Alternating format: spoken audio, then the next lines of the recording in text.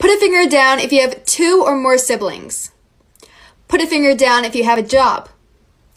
Put a finger down if you are currently in a relationship. Put a finger down if you can drive.